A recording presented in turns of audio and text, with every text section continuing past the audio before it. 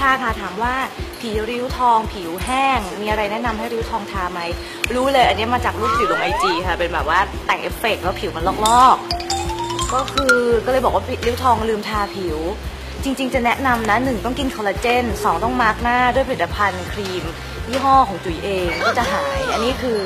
VIVSKIN ค่ะคอลลาเจนก็เจอสันกรอสค่ะ ออกได้ด้วยเหรอ อุ้ยขายของดีใจขอบคุณที่คำถามนี้มานะคะคำถามนี้ทำให้เราได้ขายของนะคะ เอาจริงๆแล้วเนี่ยริ้วทองกับผิวแห้งแค่ตอนเดียว พอโผล่ขึ้นมาจากน้ำแล้วไม่แห้งแล้วนะ จริงๆ สวยสวยพูดเลยเป็นผีแบบ smoky eye อะพูดเลยแก้ผิวแห้งยังไงคะโดยการกินคอลลาเจนและมาส์กด้วยครีมของจุ๋ยค่ะ VIVSKIN ค่ะสนใจติดต่อไอจีเลยค่ะไอจีจุ๋ยนำพาไปได้ทุกสิ่งเลยค่ะ ไปที่ IG จุ๋ยเลยนะคะ Yeah.